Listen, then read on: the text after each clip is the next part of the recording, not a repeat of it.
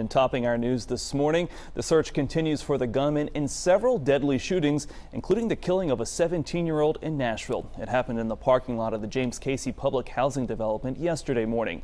Investigators say Ian Patterson was standing outside the car when two men with his neighbors and they heard gunshots. We're told the teen tried to drive away, but ended up crashing into a tree. He was rushed to the hospital where he died. Police are now searching for those men.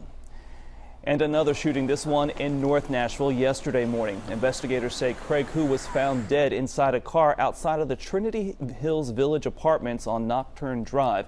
We're told the 28-year-old had been shot in the head. Detectives think the shooting was part of a fight that started at a nearby apartment complex. So far, no arrests have been made in this case. And another deadly shooting that killed a teenager and injured another man. Police say 18-year-old William Frazier Jr. was at a friend's house on Rambling Brook Road when he was shot at least once. He was rushed to the hospital but died. The second man was also shot, but he is expected to survive. Witnesses told police the suspects left in a white car. Anyone with information on any of these cases should call Crime Stoppers at 615 74 Crime. And once again, Memphis is mourning the loss of a police officer who was shot and killed in his own front yard.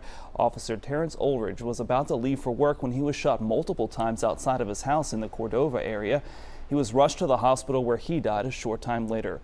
Ulrich is the fourth Memphis police officer to be killed in the last four years.